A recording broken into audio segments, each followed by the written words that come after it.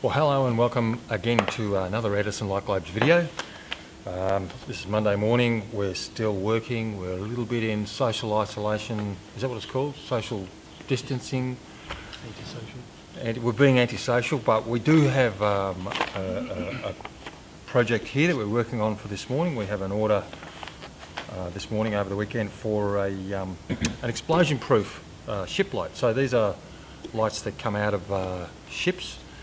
Um, they're probably, what are they, 30, 40 years old, something like that. They're made of solid cast aluminium. They're made es essentially for ships that carry uh, volatile um, liquid, gas, so that when the light turns on, a spark can't ignite and blow the ship up. So they're really well sealed, they're really solid, they've got very thick glass, uh, they're very strong, um, but what they do have uh, is fluorescent tubes. So this one has two fluorescent tubes and a whole lot of very old components which we normally remove and uh, replace. So if we can open this up, uh, David, I'll show you what's going on. Inside here there is a component that easily uh, comes out, or theoretically easily comes out, but these are sort of been in uh, salty environments. And so what happens is all of the components, all of the electronics, the ballast, everything gets a little corroded and possibly not ultimately suitable for, um, for uh, repurposing. Whilst you can put fluorescent tubes in and they will probably work, we would prefer to retrofit this with a modern dimmable LED strip light that we make and that's a light that you can then um, control its colour, you can control its quality, you can control the dimming, everything. And it should last a heck of a lot longer than a fluorescent tube. So what we thought we'd do is firstly make a noise and then, and then what we'll do is we'll get this light refitted with our components and we'll show you exactly how we refit a fluorescent twin tube. Well this is a twin twin fluorescent tube. Um, explosion proof ship light and what we do to convert that to a single tube LED.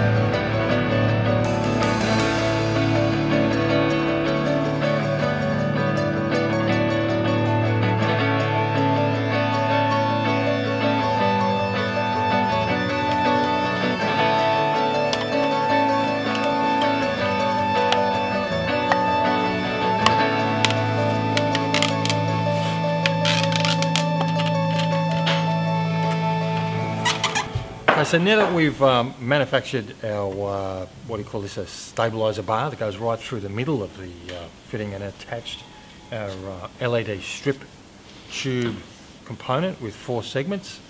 Um, we use a, uh, a, a 3D printed part here to make sure that these two connect. Now this, this then has to be uh, attached to what is now a cleaned up and wired oops, end cap. David's going to do that now. You can do that.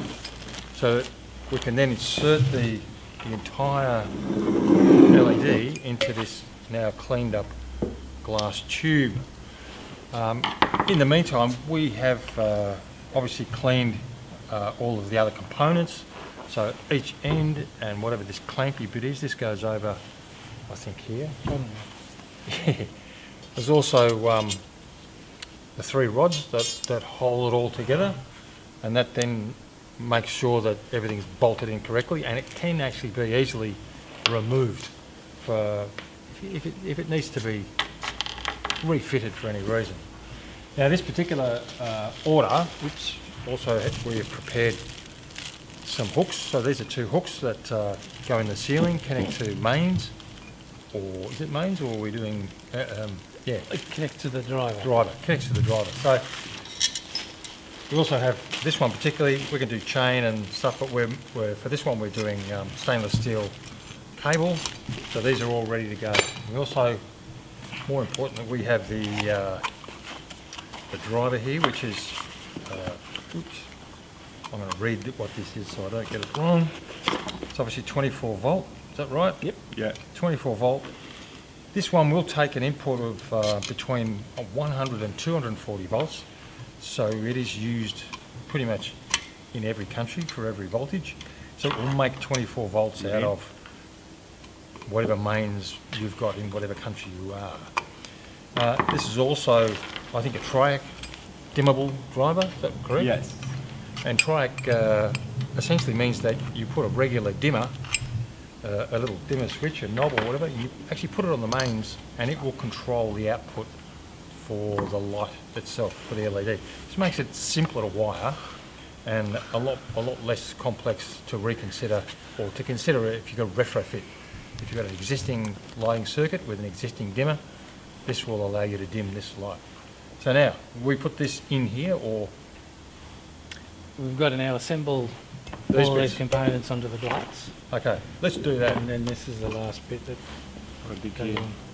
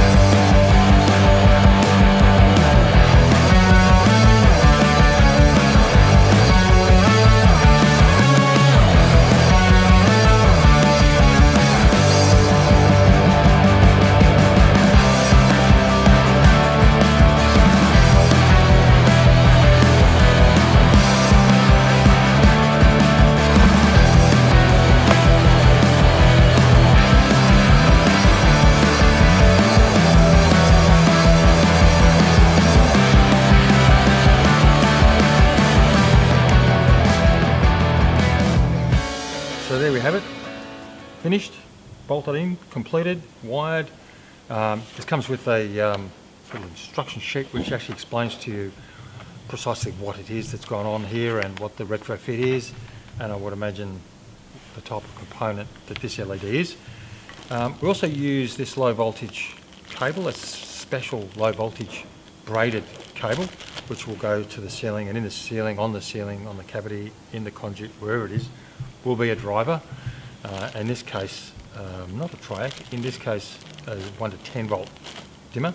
That's okay. So what we thought we'd do is fire it up, uh, the finished result to test, and show it to you dimming. Okay, so there we have it, the finished job. Um, all it needs now is uh, to be tested. Um, it's all cleaned, sealed, the dimmer's installed, we're just testing the dimmer.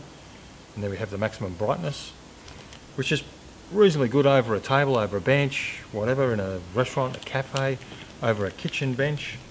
Um, they're quite heavy. Uh, I think they weigh about seven kilos. You will need uh, two suspension points uh, and one wiring point, obviously. Uh, chain, cable, whatever, the right length to suit your application. But these uh, we have in stock. We have a number of different um, types, different lengths, some with twin tubes. Uh, as I say, these are all reclaimed ship lights, all refurbished, all cleaned up, uh, retrofitted to LED, available now. Thanks for watching. If you like our video, remember to subscribe, share this with uh, whoever you feel like, and uh, until the next video, thanks for watching.